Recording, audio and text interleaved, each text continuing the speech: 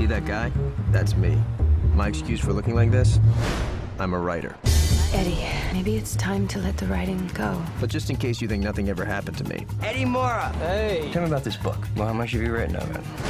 not one word. Well, I suppose I can help you with that.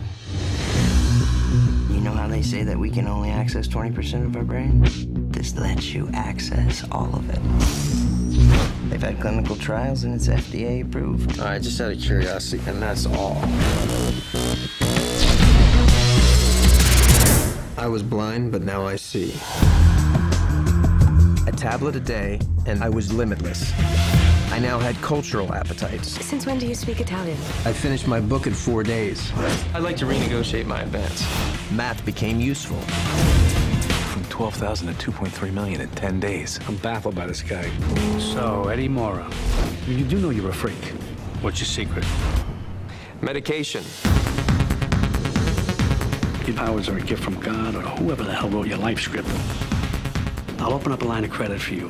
You'll be wanting a few toys. How many of us ever know what it is to become the perfect version of ourselves?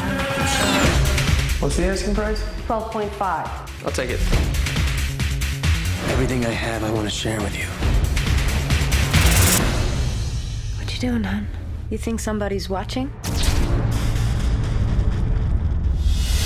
My brain is skipping time. I have no memory of the last four days.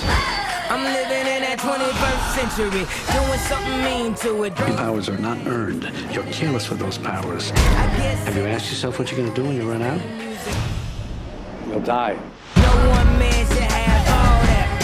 that power. The clock's ticking, I just count the hours. There's no scenario in which you'd lead this life where you don't work for me. No scenario. I see every scenario. I see 50 scenarios. That's what it does, Carl. It puts me 50 moves ahead of you. System broken, the school Worth the risk? What would you do?